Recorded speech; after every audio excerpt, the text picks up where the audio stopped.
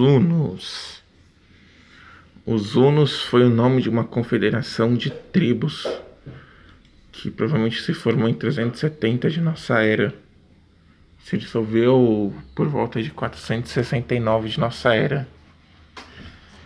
Eles vieram da Ásia Central, né? E era um povo de origem nômade, né? Seus ancestrais podemos dizer que foram Xiongnu. E além de viver, eles também se expandiram, né? Vivendo no Cáucaso e na Europa do Leste, né? Leste Europeu. É...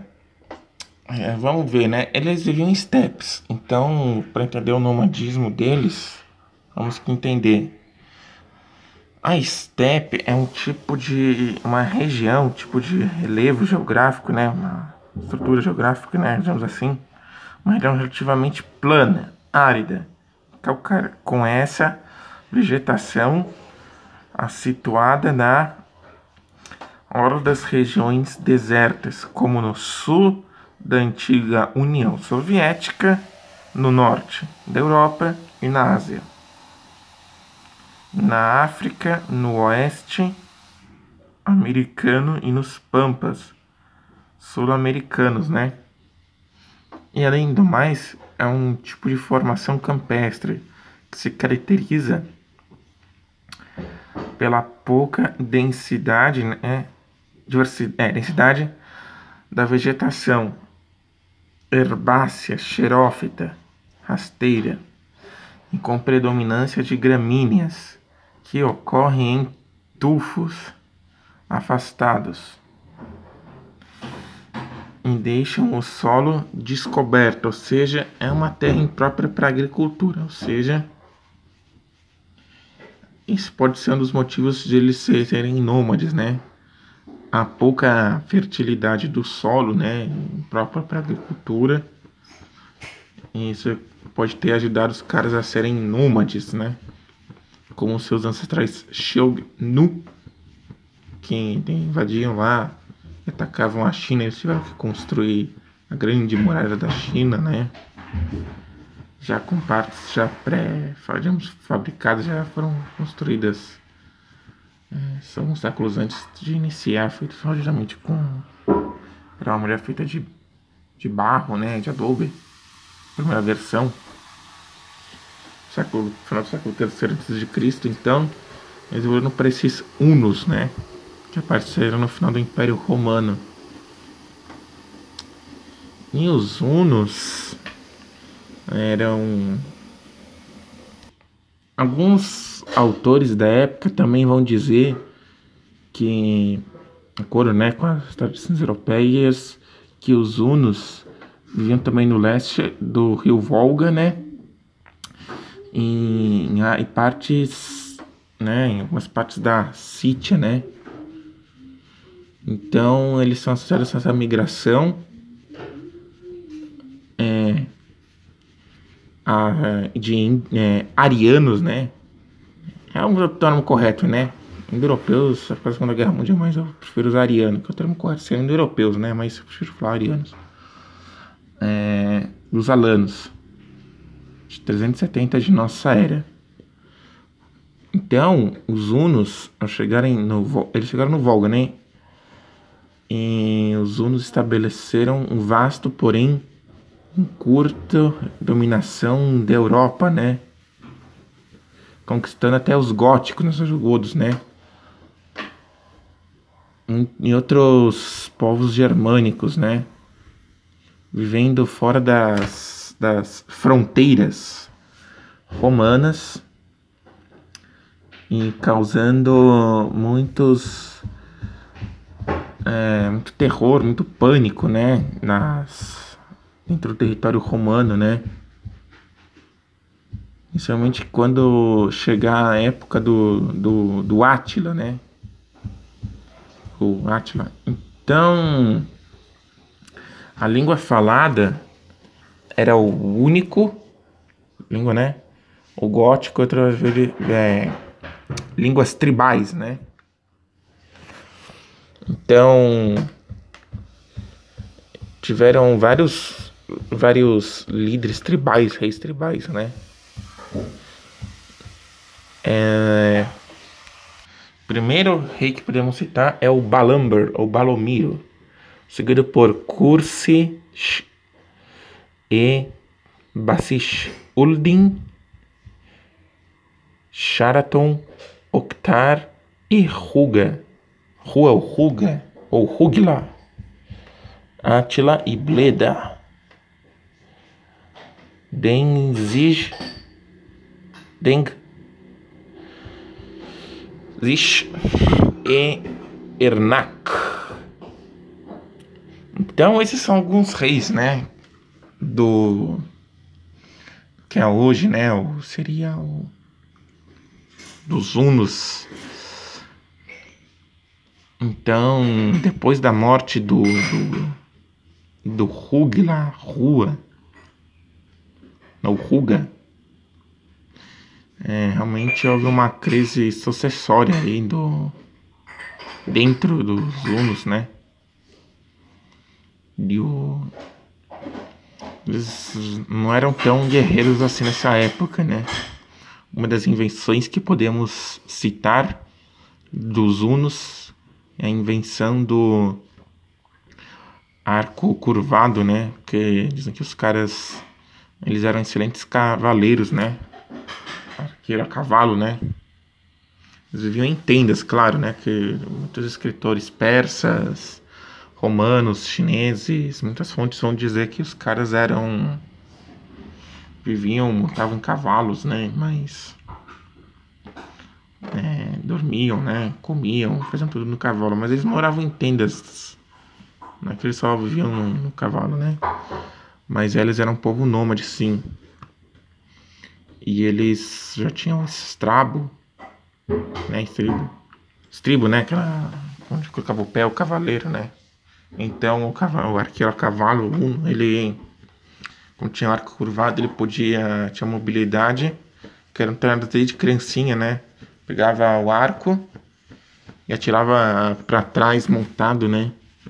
Causando grande pânico nas dentro do território romano. Então o Ruga vai morrer. E aí tem o, o Bleda e o Atila, que o, o Bleda ainda controlava, né? O Atila temperamento forte do Atila e vai aí depois vão brigar vai declarar que outro não é irmão dele e vai matar e vai tomar a liderança e aí vai causar o pânico né vai ser chamado de flagelo de Deus né causa do terror né como se, sido, se os romanos tivessem sido castigados né pela ira de Deus, né? As crueldades nas atrocidades cometidas por Átila e seus arqueiros a cavalo aí, seus homens. Então, nessa época aí tava já em crise o Império Romano. O, o Valentiniano, que é terceiro, que era o imperador da época, já estava tentando derrotar, mas sem sucesso, os, os, os Hunos, né? Que estavam atacando. E o Attila, primeiro instante, ele pediu 115 quilos de ouro, né? Para não atacar, eles usavam armas de cerco, né? Os Hunos. Então, ele não acabou aí tendo que ceder como se fosse Ficava de suzerania, né? Para não ser atacado como um mafioso até. Extorque dinheiro, né? De suas vítimas. Dando armas de cerco. E aí o Atila depois foi pedir 2 mil quilos, né? Que naquela época, imagina, 2 mil quilos de ouro era muito, né? Quando o continente não tinha nem sido descoberto, imagina. Então, para não atacar, né? Isso era pagamento anual, né? E ele vai atacou, né, vários locais aí, né? Depois a outra para se livrar do a Honória, que era irmã do imperador Ventiliano, mandou uma carta, né, que tinha um, é, um empregado, né, um cara lá que ela acabou se envolvendo, o Valentino mandou executar e para se livrar das garras do irmão já ter sido executada que ela foi presa, né? Só intercedeu do Valentino III para não matar a irmã, mas mandou prender. E mandou uma carta com anel lá pro Átila, a Honória. Com certeza isso o Átila entendeu que pedindo para salvar, né? Entendeu como se fosse um pedido de casamento, então o cara queria pegar a Honória para ser a noiva dele. E aí o Atila vai começar a devastar, né? Principalmente a Moésia lá, a região dos Balcãs, né? Como forma de punição por não ter conseguido Honória. E aí o Valentino vai descobrir, vai ficar puta, né? Mas com a, com a irmã, aí vai exilar, vai expulsar ela lá. Então. E o, ele tinha um general, né? Que é considerado os últimos dos romanos na época, né? que era o general Flávio Aécio, que foi sequestrado, né, quando era criança, pelos próprios hunos, né? Ficou em cativeiro. Então aprendendo as táticas, né? Essas coisas, então isso pode ter ajudado depois ele derrotar os hunos na batalha de Chalons na norte da Gália. Então, é, ele começava a invadir as cidades. O, e, os, uh, e os hunos vão invadir, vão atacar o Império Sassânida, né? Pela Pérsia lá, Sassânida. Vão chegar na Índia vão destruir na Índia a dinastia Gupta, né? Tocar o terror lá, é, vão devastar tudo, né? Então, era muitas tribos fugiram, né? Como os Goldos, os Vândalos, né? fugindo para dos Hunos, né? Da ferocidade, né? Dos caras. Então, Apesar disso, né? Os caras vão acabar sendo aí.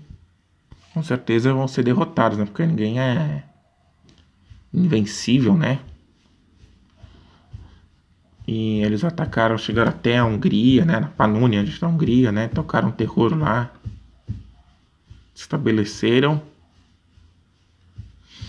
E e eles adoravam na religião, adoravam o cavalo, vários elementos, né? Tinha o deus do trovão. Então, pouco se sabe da,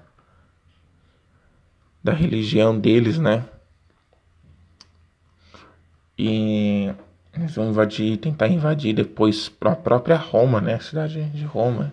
Apesar de em 402 ter já sendo mudado para Ravenna, uma cidade não um pouco relevante, né? na Itália. A vila mais o coração do Império Romano continuava sendo a cidade de Roma, provavelmente dita então.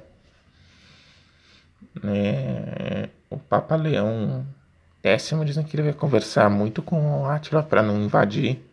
Mas provavelmente tinha peste, talvez varíola peste.